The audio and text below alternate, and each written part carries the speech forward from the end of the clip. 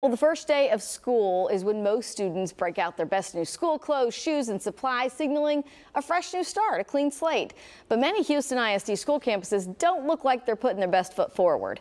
We want to show you some pictures. This is Blackshear Elementary School. You can see some of the tall grass there, the weeds at the front of the school, debris at the curb from the storm.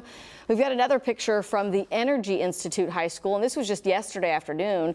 They still have downed trees and debris that need to be removed. You can see it. It is um, cordoned off there, but still on the campus. It looks like no one's mowed at that school all summer. Um, so this morning we've got uh, Pastor Linda Davis joining us in studio. Council member of District D, Carolyn Evans Shabazz, is joining us remotely. So we thank you both so much for coming in, for coming to talk with us this morning. Yes. We want to kind of go in order, Pastor Davis, of, of, sort of how you noticed this problem. Because did you just happen to be at Blackshear? I mean, you, you noticed the state of that campus recently. Yes, on Thursday, they were having a Meet the Parent Day. Mm-hmm. And I went by to meet the principal and some of the teachers that were there and some of the students' parents that are there. And when I got there, the grads, I looked at the school and the grass was overgrown. There were still hurricane debris on the parking lot, on the lots, and there also was an overflowing of trash there. The in dumpster. a dumpster that had yes, been emptied. Uh-huh. Yes. So I was just really excited, you know, concerned about that. I knew that the students deserved to start the school year in a clean and safe environment. Mm -hmm. So I knew I had to act. I knew I had to do something to so, ensure that. So what did you do?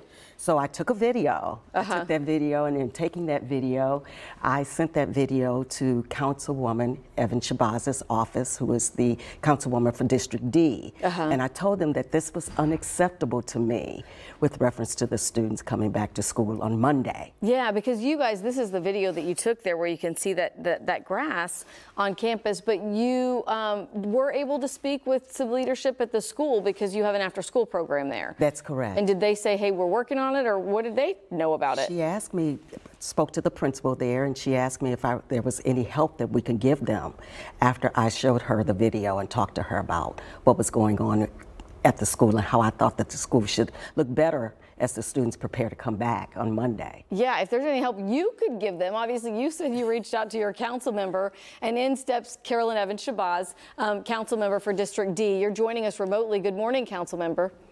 Good morning, Amy, and certainly good morning to Pastor Davis, a tremendous community partner who I so appreciate.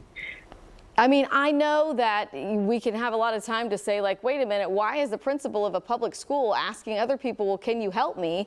We'd have to think, but we don't know that she's asked leaders hey, who's going to come pick up the trash and who's going to mow the grass? Um, we want to get all those questions answered, and we've heard a little bit from Mike Miles. But what did you do? Because school is Monday. I mean, it's just a few days away. You know, this is a tremendous problem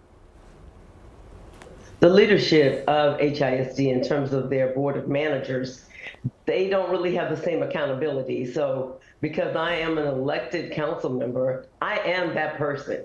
And I'm so glad to serve in that capacity, actually. I am a former educator. And so um, I live across the street from a school, and that's a, always a concern for me. And so certainly we used our council district service funds to be able to reach out, certainly to the Good Neighbor program as well as to solid waste. And certainly we're going to get that cleaned up. But there are other schools in very close proximity. Some of them you just had on your video. Uh, I walk the neighborhood pretty regularly, and there are several schools in the area, and it's just a real concern for me when students have to go to a campus that is not inviting. You know, they're coming in, some of them are brand new students, so they're not familiar with the campus at all but to see that, you know, what we see, like they say, what we see is what we be, right? Yeah. And so, I mean, poor English, but certainly I know you, you can understand what I'm saying. You know, you come into a school, you expect it to be inviting, again, as Pastor Davis says, safe, and uh, to have those, that debris and all of that uh, trash and the grass not cut, it's certainly not acceptable. Yeah. so, so I am so very glad that she did reach out. Yeah, and so then you mentioned this Good Neighbor program, and you your district has worked with them in the past as well. Is this sort of for things projects in your district that just need attention?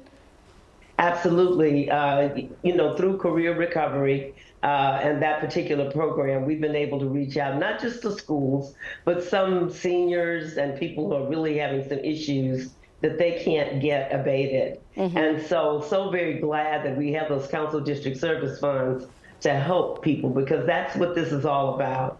And certainly, uh, again, I always thank Pastor Davis. And, and I want to say before we get off, too, she's always having uh, things in the community. Uh, but I want to uh, highlight that today we are having a back to school backpack program today at the Career Recovery Center at 2525 San Jacinto, and it's from 10 to noon. Okay. So uh, go by there, get backpacks. There will be a food distribution, uh, just whatever we can do to help the community to, and our students certainly to have a great school year. All right, that is great news. So today from 10 until noon, you can go by there on San Jacinto Career Recovery Center. Thank you so much, Councilmember Evan Shabazz. Thank you, Pastor Davis. At least getting some some grass mowed, at least one school cleaned up, Blackshear Elementary. We thank you for your time We'll this morning. one school at a time, but it's certainly something that needs to be on the radar of HISD to take care of these schools. Uh, it's just not acceptable. Absolutely. All right, thank you so much.